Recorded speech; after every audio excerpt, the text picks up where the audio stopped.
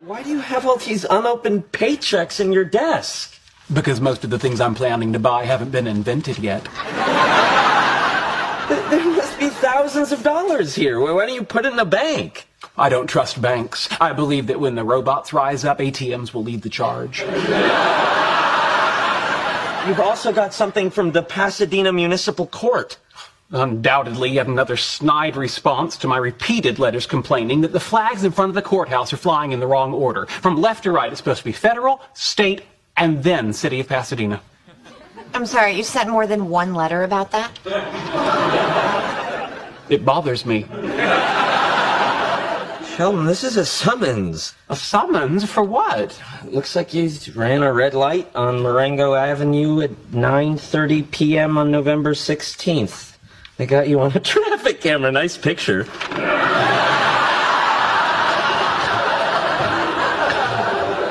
November 16th. Penny, that's the evening you fell in your bathtub and I had to drive you to the emergency room. No, it isn't.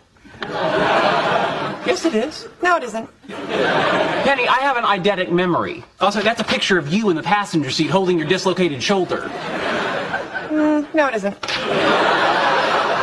Okay, then why is a summons for a traffic violation committed in your car bearing your license plates coming to me?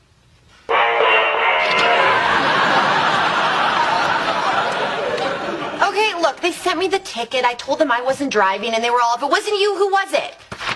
So you betrayed me. No! It wasn't a betrayal. It was more of a, I can't afford any more points on my license.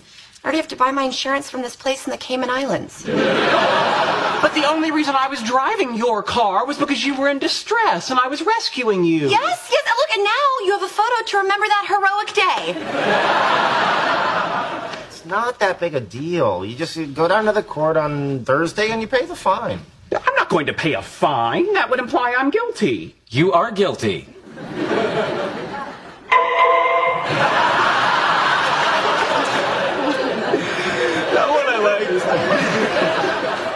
Am not guilty. I only have a learner's permit. Penny was the teacher. When the light turned yellow, she said, go, go, go. So I went, went, went. Sheldon, I'm sorry. I'll be happy to reimburse you for the fine. You know, as soon as I get a part in a movie or my own TV series. You don't need to reimburse me because I'm not paying. On Thursday, I will have my day in court and justice will be done.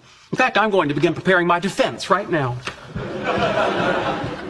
Okay, he's going to jail. That's right. Thursday's Stan Lee Day. Now you see what you've done? Because of you, we're all going to miss Stan Lee. Whoa! What do you mean, all? Well, you're my friends. You'll be standing by my side, supporting me, feeding me legal precedents, and if you have the upper body strength, carrying me out on your shoulders when I'm victorious. Yeah, okay, no. Are you saying that you will not stand beside me as I plead my case? That's what I'm saying. Howard? Wow. uh, Stan Lee or you in court? Uh, this was Sophie's choice. It would have been a much shorter movie. Now, Raj, you'll be there, won't you? All right then, my so-called friends have forsaken me, so I guess it'll just be me and my eyewitness.